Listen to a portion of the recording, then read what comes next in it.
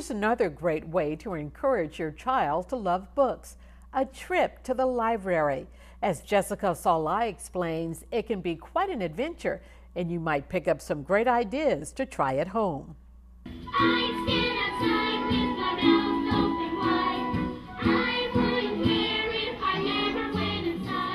It's probably not what you would expect at the library, where quiet is typically the norm.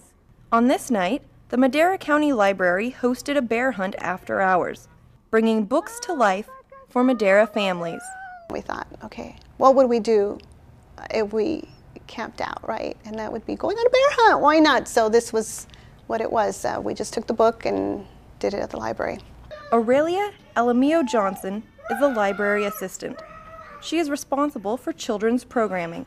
We had hot dogs and for everyone that came, right? And, and it, it had to be a family. We couldn't have them just drop off the kids. Daisy Uribe and her daughters were one of the families enjoying what the library had to offer. It's nice the family camp out, so we're here just to have have fun with my little girls and be able to entertain them. Oralia gathered the families around the campfire and read the children's book, We're Going on a Bear Hunt.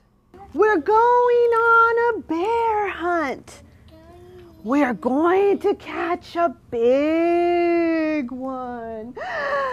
A look at those little faces shows just how much fun they had.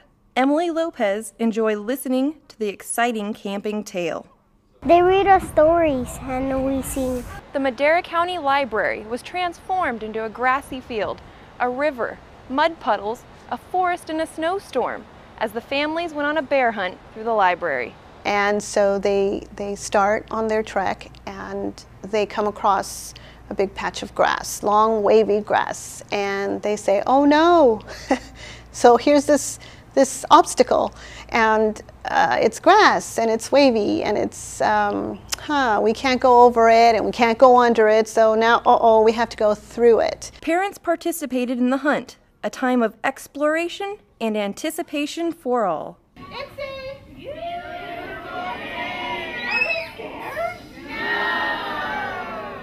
Actually, let's all say, go away there! Ready? Uh, we then had s'mores because what is camping without s'mores? The night ended with free family campout t shirts, a group picture, and lots of smiles.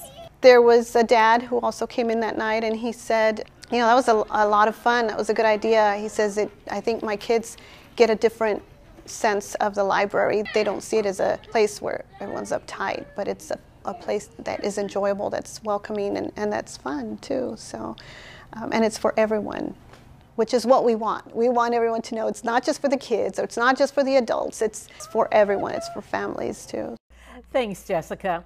And if you'd like additional information about the Madera County Public Library or any of the agencies or experts featured throughout this program, just go to kvpt.org and click on 0 to 5 in 30 minutes. We have phone numbers, addresses, and web links listed on our Resource of Course page. This program funded in part by First Five Fresno County. At First Five, we focus on the first five years of life. We fund programs and services that better the lives of children in Fresno County.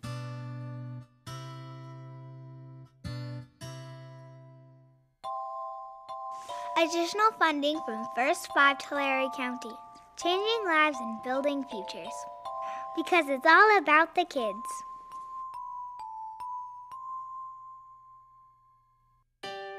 And First Five Madera County, strengthening communities through the Family Resource Centers, where it's all about the kids.